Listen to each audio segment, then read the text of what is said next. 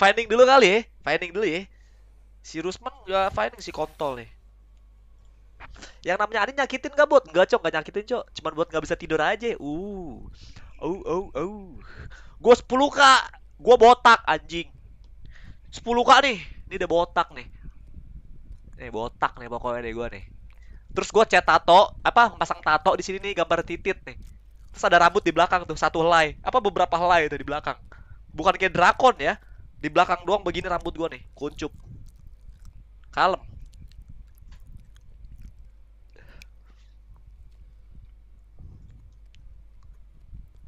Lu inget-inget ya, brother ya. Brother-brother gua nih.